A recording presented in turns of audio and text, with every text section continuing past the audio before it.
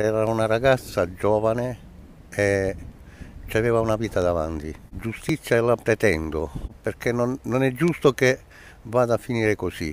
Lo afferma da sempre Gaetano De Chirico, non ha mai creduto che sua figlia Claudia si sia tolta la vita, meno che mai impiccandosi da questa altezza nel sottopasso ferroviario di Terlizia all'alba del 22 dicembre del 2016.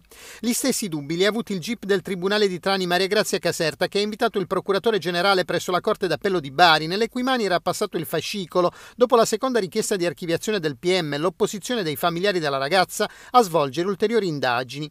Bisognerà per esempio analizzare i dati estrapolati da una videocamera che riprende prende l'uscio dalla casa dove viveva la giovane, procedere a una nuova consulenza tecnica che valuti se con un cavo USB del telefonino della lunghezza di 90 cm fosse possibile arrivare ad un'impiccagione nelle condizioni psicofisiche alterate in cui Claudia si trovava.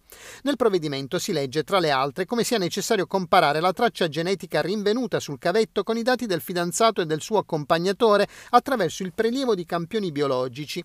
Unico indagato rimane il 31enne convivente della giovane che si è sempre sempre difeso riferendo di un rapporto burrascoso a causa della gelosia di lei, spiegando però come la ragazza avesse altre volte manifestato intenzioni di togliersi la vita. Non voglio incolpare nessuno, anche perché c'è la giustizia, se c'è la giustizia, giustizia sia.